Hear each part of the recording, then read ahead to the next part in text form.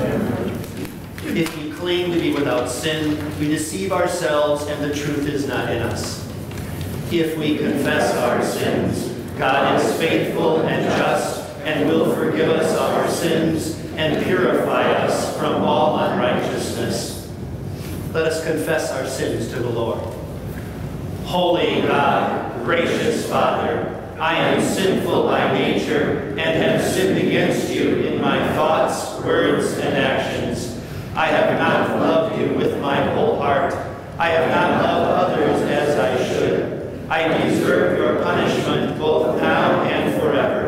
But Jesus, my Savior, paid for my sins with his innocent suffering and death. Trusting in him, I pray, God have mercy on me, a sinner.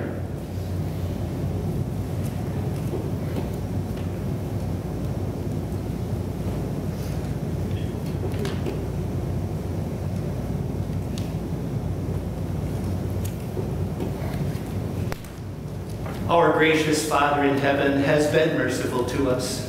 He sent his only Son, Jesus Christ, who gave his life as the atoning sacrifice for the sins of the whole world. Therefore, as a called servant of Christ, and by his authority, I forgive you all your sins. In the name of the Father, and of the Son, and of the Holy Spirit. Amen. In peace, let us pray to the Lord.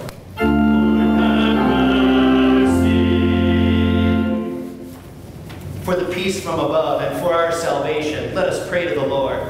Lord have mercy.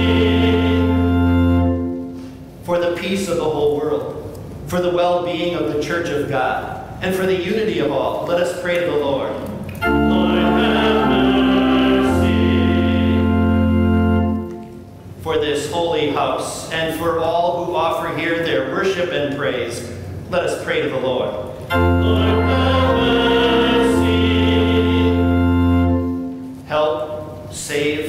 comfort, and defend us, gracious Lord.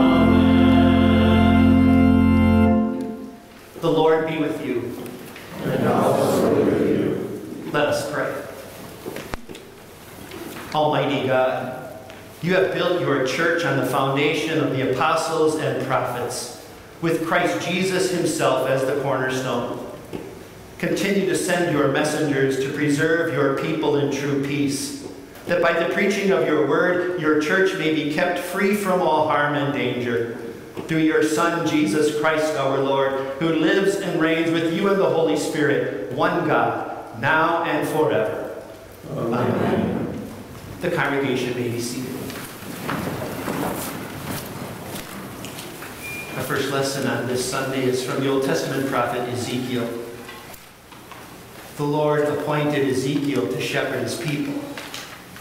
And yet the Lord was honest with Ezekiel. The people will not listen. And yet my words remain effective. My gospel remains sweet for it is the message of salvation. Then I looked, and I saw a hand stretched out to me. In it was a scroll which he unrolled before me. On both sides of it were written words of lament and mourning and woe. And he said to me, Son of man, eat what is before you, eat this scroll, then go and speak to the people of Israel. So I opened my mouth, and he gave me the scroll to eat. Then he said to me, Son of man, Eat this scroll I am giving you and fill your stomach with it. So I ate it, and it tasted as sweet as honey in my mouth. Then he said to me, Son of man, Go now to the people of Israel and speak my words to them. You are not being sent to a people of obscure speech and strange language, but to the people of Israel, not to many peoples of obscure speech and strange language, whose words you cannot understand. Surely if I had sent you to them, they would have listened to you. But the people of Israel are not willing to listen to you because they are not willing to listen to me. For all the Israelites are hardened and obstinate. But I will make you as unyielding and hardened as they are. I will make your forehead like the hardest stone, harder than flint. Do not be afraid of them or terrified by them, though they are a rebellious people. And he said to me, Son of man, listen carefully and take to heart all the words I speak to you. Go now to your people in exile and speak to them. Say to them, This is what the sovereign Lord says, whether they listen or fail to listen. The word of the Lord. The psalm of the day is number 67. Today's psalm takes a little different format from what we are used to. Instead of a refrain and a psalm tone, Psalm 67 here is in the form of a hymn verse. The organist will play an introduction, and then we'll join in singing it.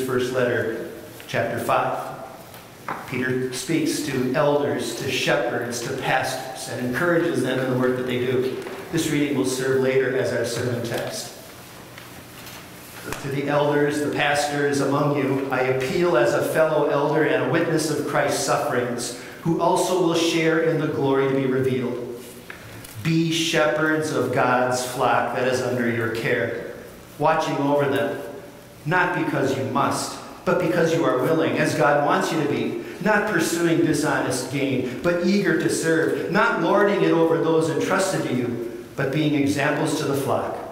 And when the chief shepherd appears, you will receive the crown of glory that will never fade away. The word of the Lord. Thanks be to God.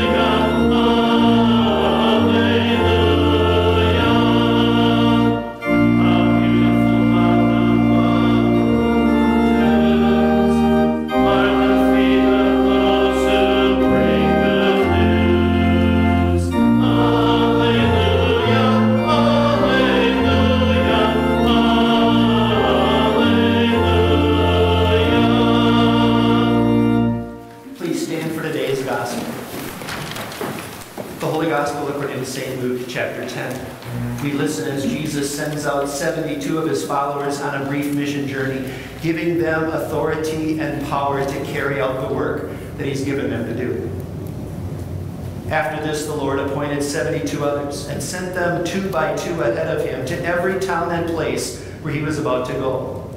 He told them, The harvest is plentiful, but the workers are few. Ask the Lord of the harvest, therefore, to send out workers into his harvest field. Go, I am sending you out like lambs among wolves. Do not take a purse or bag or sandals, and do not greet anyone on the road. When you enter a house, first say, Peace to this house. If someone who promotes peace is there, your peace will rest on them. If not, it will return to you. Stay there, eating and drinking whatever they give you, for the worker deserves his wages.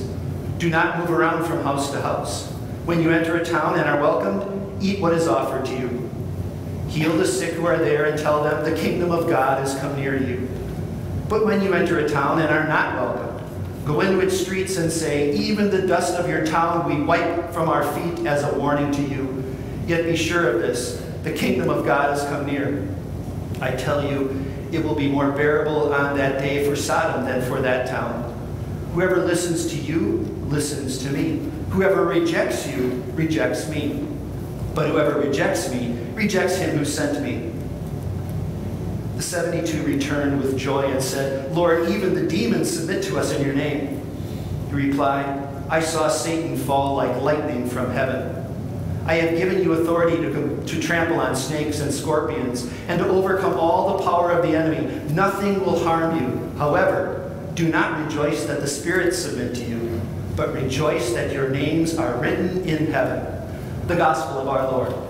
Praise be to you, Lord Christ. Congregation may. Children, I've got a message I'd like to share with you this morning. Come on. I have something I want to show you on the screen here.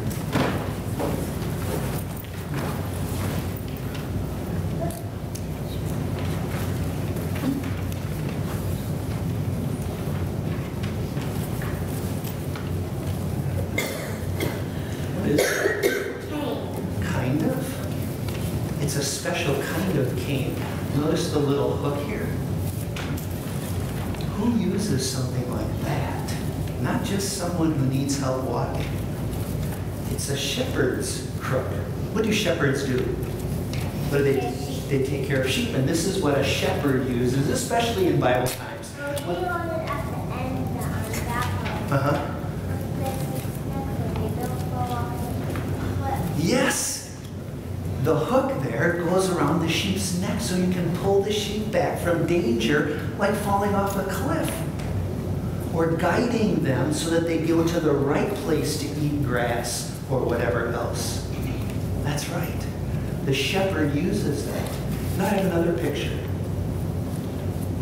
Here's a picture of a shepherd. See, he's got the shepherd's staff in his hand and one of the lambs is on his shoulders. Who do you think that might be in this picture?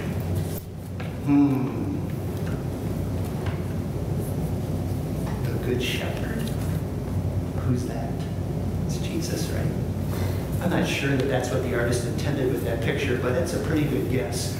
Jesus is the Good Shepherd. We hear about that in Psalm 23.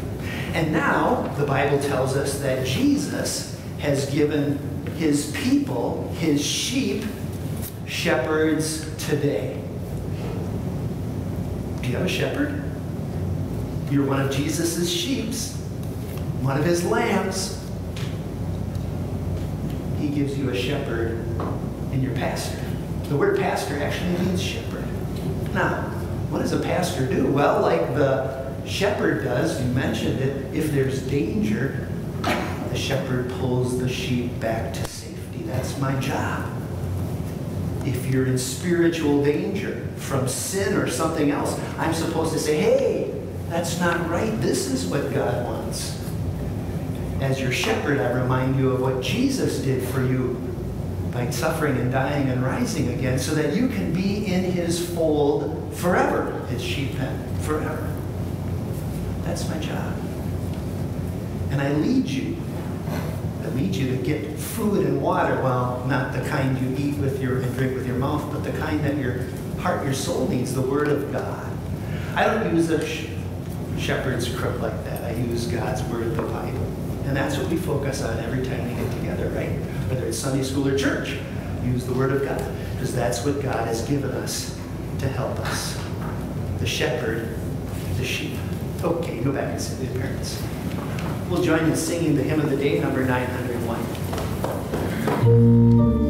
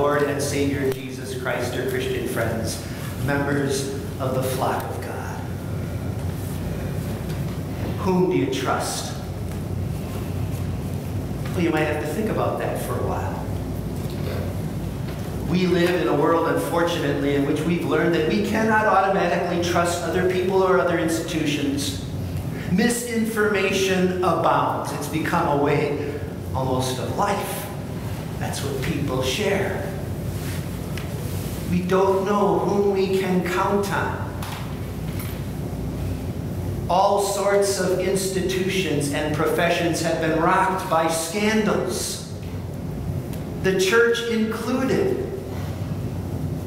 I'm ashamed to think of the fact that some denominations for decades have buried the sins of the clergy and have protected those who are guilty.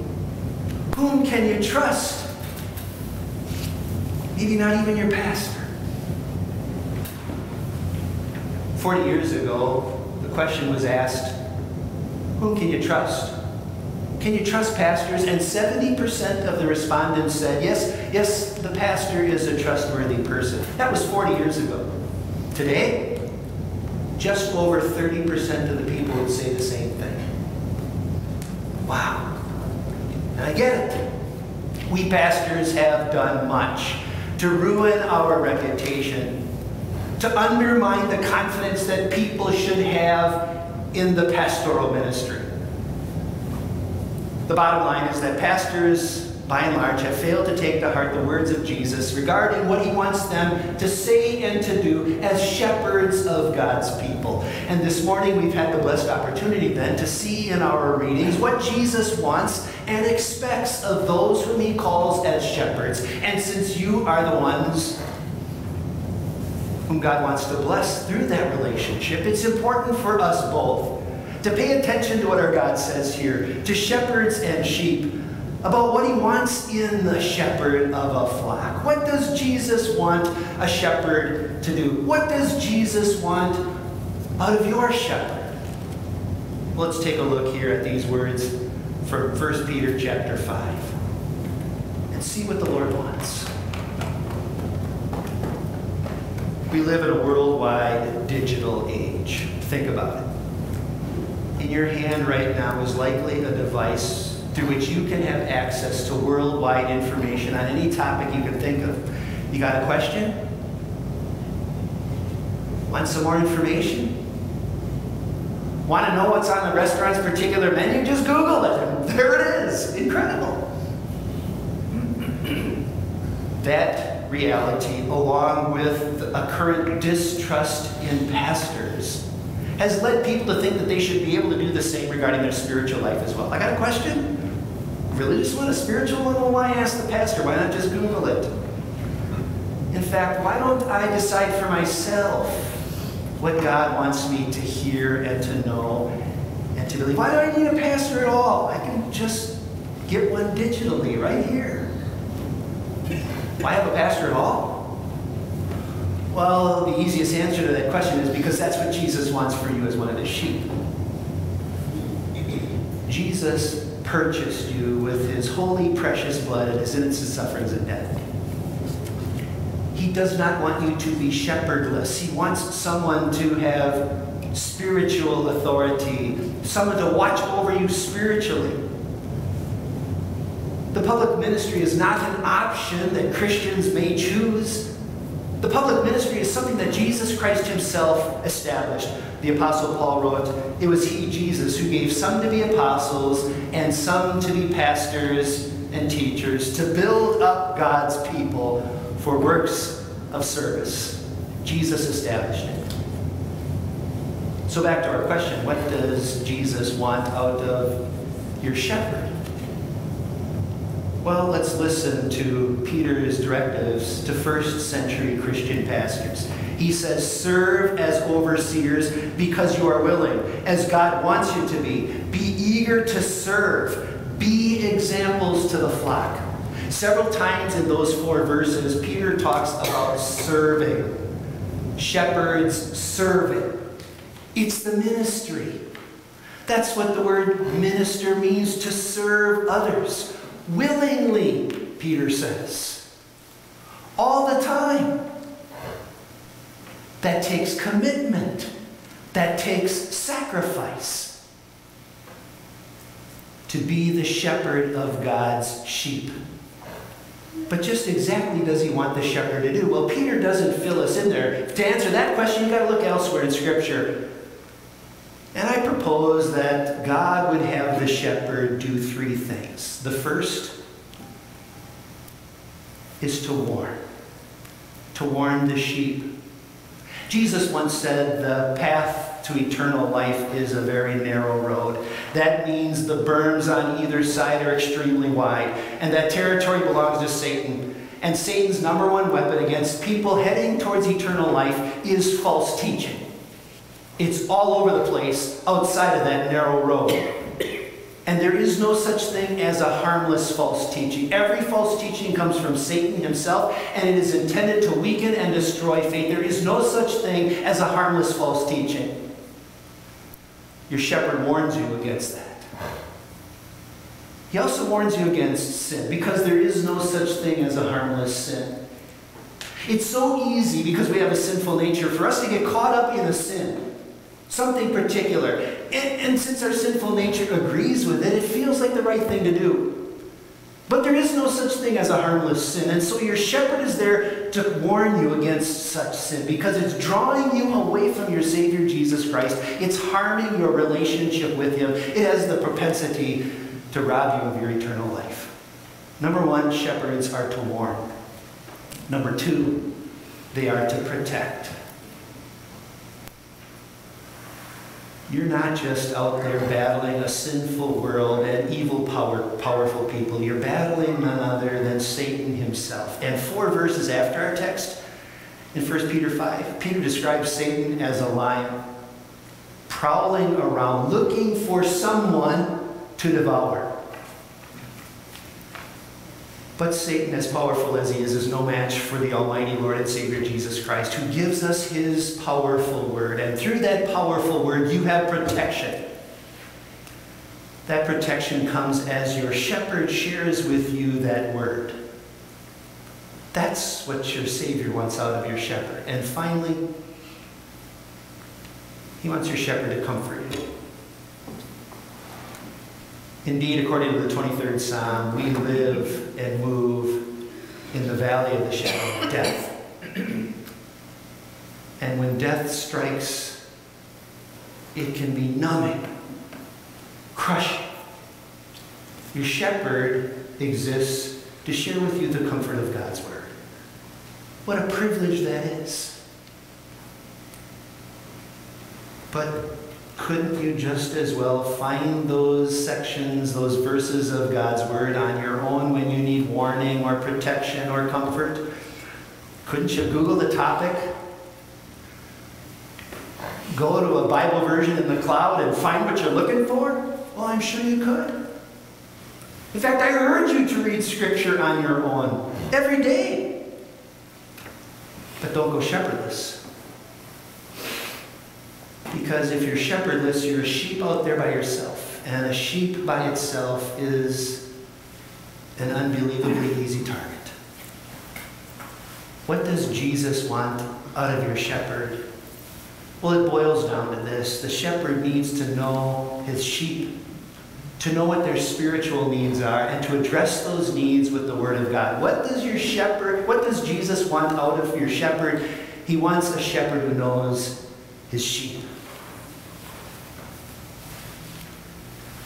Our world is becoming an increasingly do-it-yourself world, and I'm not talking about home projects.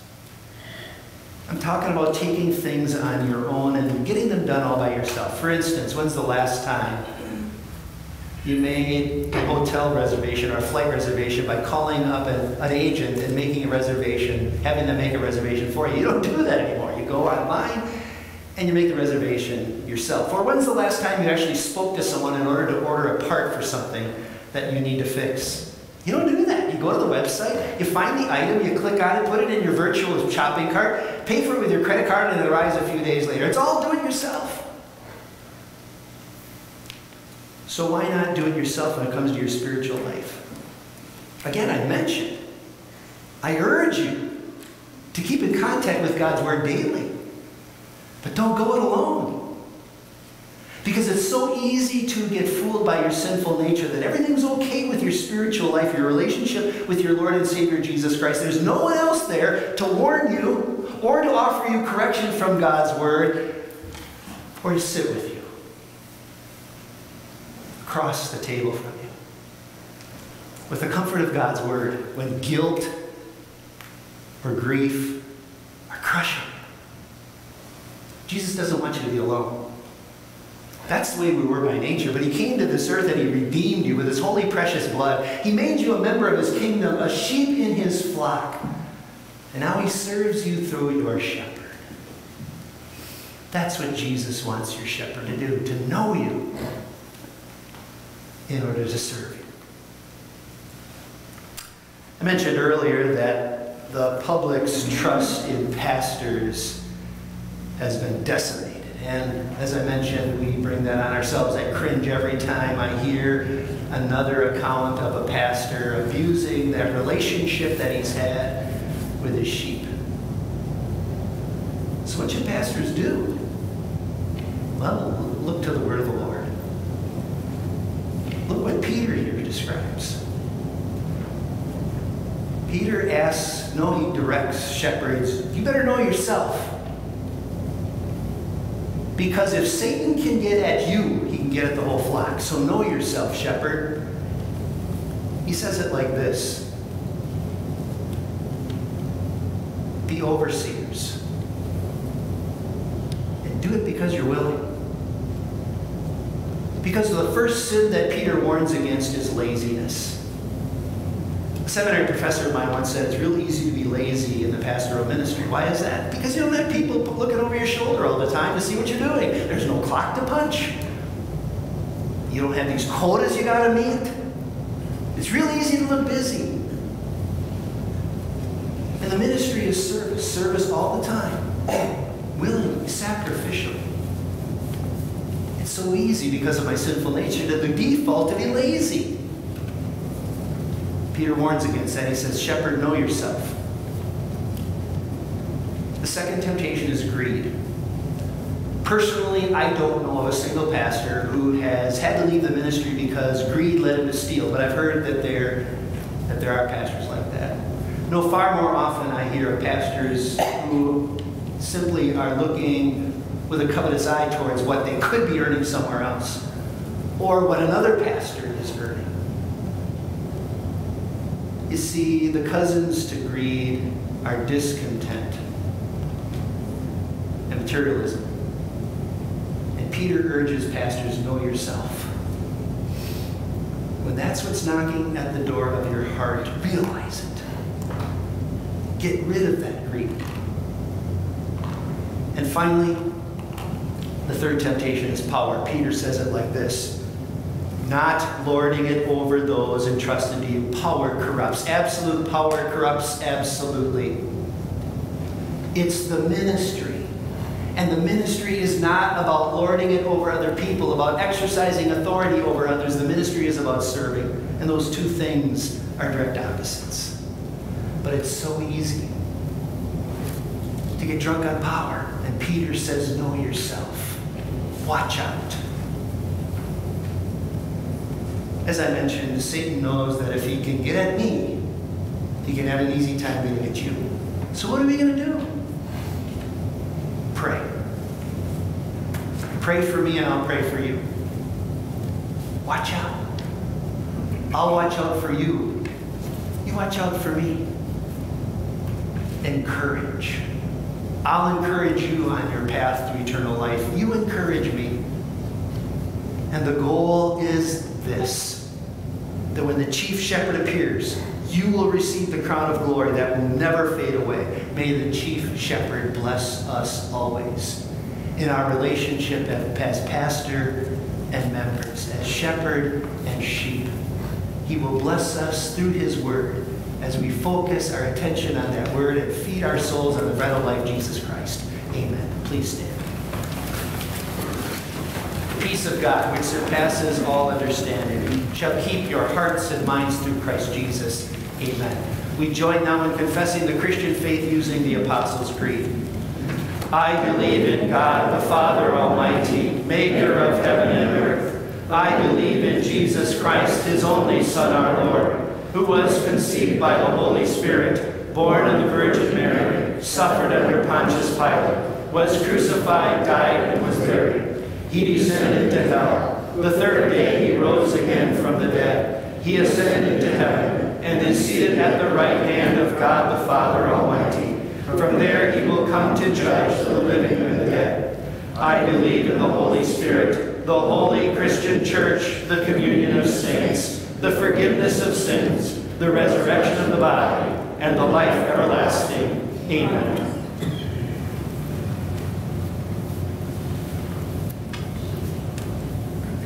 Almighty God and Father, we thank you for all your mercies, especially for the gift of your Son, through whom you have revealed your gracious will.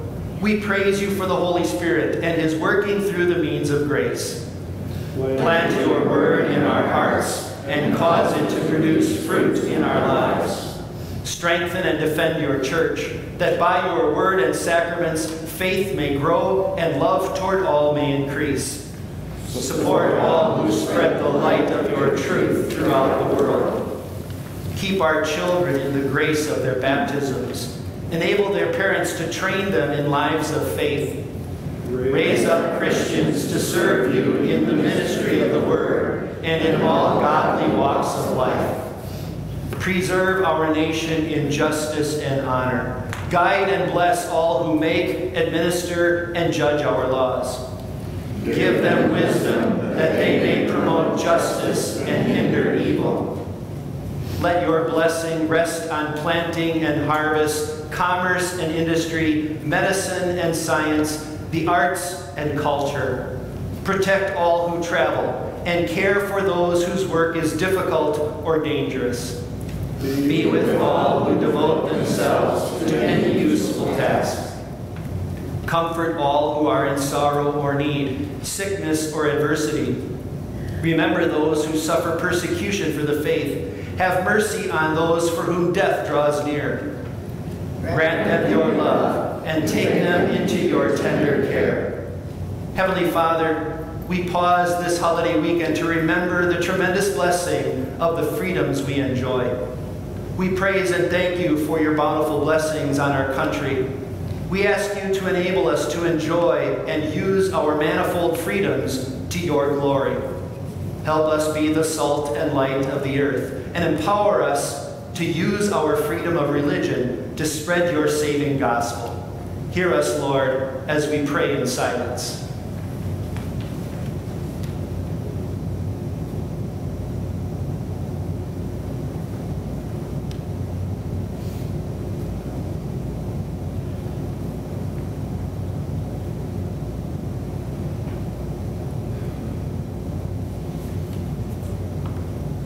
remember with thanksgiving those who have loved and served you who now rest from their labors. Console those who are mourning or living with sadness. Keep us in the true faith and bring us at last to the joys of heaven. Grant us these blessings, Father, for the sake of Jesus, who died and rose again. Amen. Please be seated for the offering.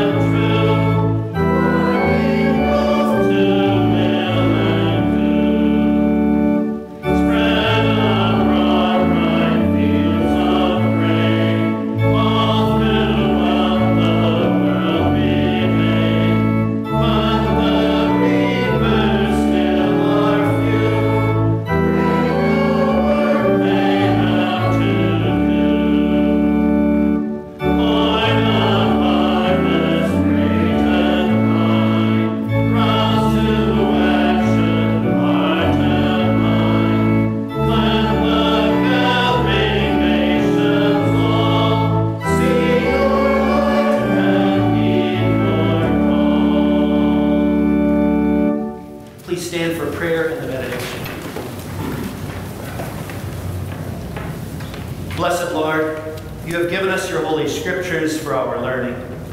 May we so hear them, read, learn, and take them to heart, that being strengthened and comforted by your holy word, we may cling to the blessed hope of everlasting life. Through Jesus Christ our Lord, who lives and reigns with you and the Holy Spirit, one God, now and forever.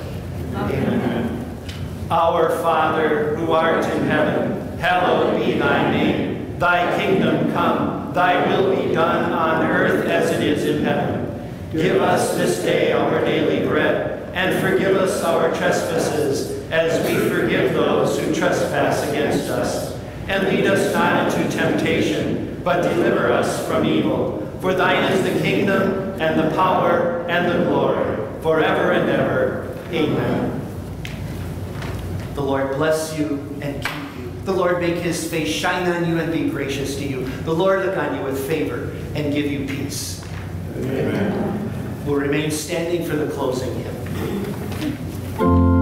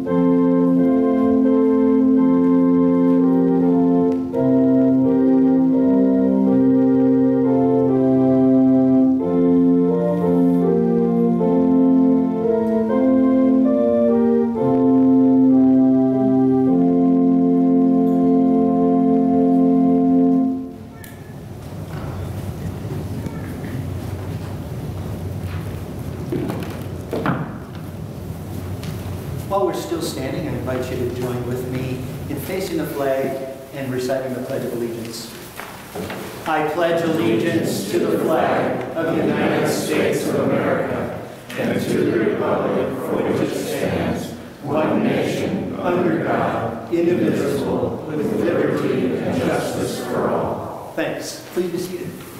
Thanks especially for joining me on this holiday weekend, an opportunity for us to gather together as the sheep of the Good Shepherd Jesus Christ and to receive his encouragement for our daily lives. It's my prayer that that encouragement goes with you and strengthens you in the, the weekend ahead here. An opportunity here this weekend to spend a little more time with family and friends and in the week ahead as well as special word of welcome to those who are visiting with us today. It's been a pleasure for me to share with you the gospel of Jesus Christ. I just have one announcement. Uh, We've been talking about having uh, an outing for our youth in our congregation to the Creation Museum in Florence, Kentucky coming up. We have chosen the date. It'll be Wednesday, August 3rd. Wednesday, August 3rd. Put that on your calendars. A sign-up sheet will be posted soon. If you have any questions, the person who's heading this up is our elder Steve Watching. He's the usher this morning. Just stop him. We welcome all to join us. Doesn't have to be a need to join us. We're looking for drivers perhaps too, so uh, if you have questions, see Steve. There are refreshments in the fellowship hall. We hope you'll take this opportunity to gather with us. Have a blessed day. Have a blessed Fourth of July.